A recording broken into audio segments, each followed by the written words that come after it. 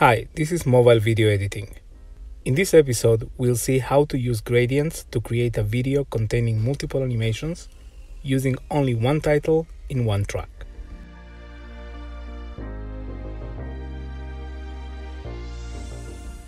This tutorial will be divided in two parts, each part on a different episode.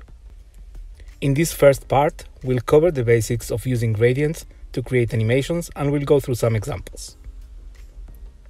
Part 2 will cover encoding animations in gradient paths, as well as transitions based on this method. Part 1 starts right after the intro.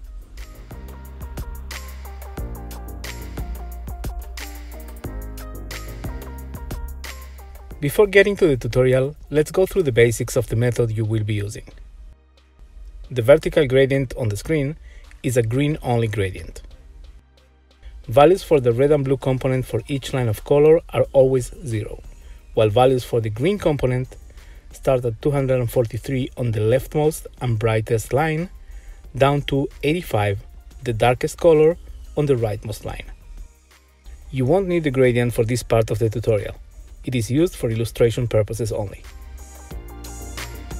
After applying the green screen chroma key effect to the gradient and selecting the reverse checkbox, modifying the brightness range has the following effect.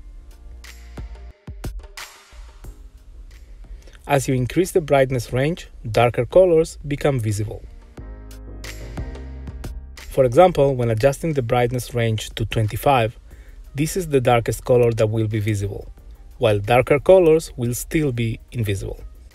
When adjusting the brightness range to 50, the darkest color visible now is darker than the previous one. Keeping those two colors in mind, I have already added a 3 seconds long title to the timeline. The title contains two text elements, each one of them with a face color corresponding to one of the two colors just mentioned. Now let's apply the green screen chroma key effect and reverse it. Next, using keyframes, let's animate the brightness range from 0 at the beginning of the clip to 71.5 at the very end.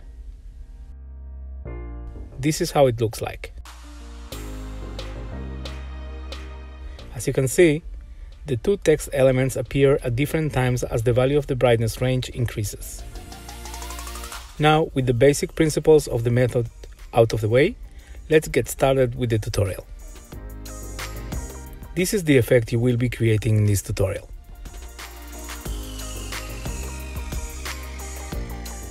We start in LumaFusion with two video clips, a 10 seconds long title already containing the text, and a video background of your choice. Edit the title. It contains 10 words each word with a face color darker than the one that precedes it. This is the color of the first word. As you can see, the red and blue components of the color have a value of 0, while the value of green is E0 hexadecimal. To make the words appear at a consistent pace, you'll need a constant difference between the colors of each word. I chose 16 as the difference between the colors to keep the hexadecimal values rounded. The value of the green color component of the second word is D0 hexadecimal. For the third word is C0 hexadecimal and so on, down to 50 hexadecimal in the last word. Now go to the Colors and Effects tab and tap on the chroma key icon select the green screen key option. Click on the reverse key option. Now change the brightness range value to 0 and add a keyframe at the beginning of the clip. Next, move the time slider to the 4 seconds mark, change the brightness range value to 71.5. A keyframe will be automatically created. The purpose of the next steps is to adjust the colors so all the words have the same shade of green. Still in the Colors and Effects tab, tap on the colors icon and select the original preset. Make sure the chroma key effect comes first and the original preset comes second. Adjust the values of the original preset as shown.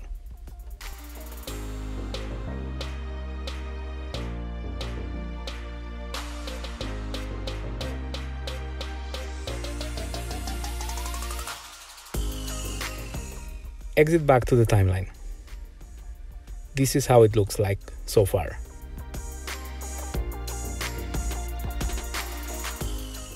Now, move the title so it is placed right above the video containing the background. This is how it looks like. Now, render the video. Once done rendering, bring the video you just created into the project. Now, let's put some color into it. Start by cloning the original title edit the cloned copy. Go to Colors and Effects. Remove the chroma key effect and the original color preset. Next, go to the Title tab and give a different color to each word as shown.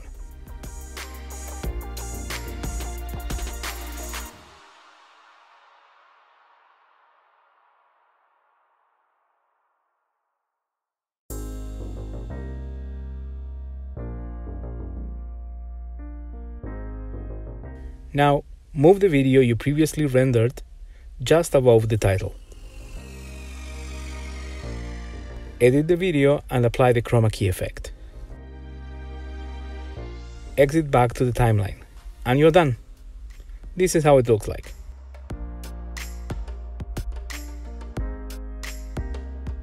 Now it's up to you to get creative. You can create effects that look like this.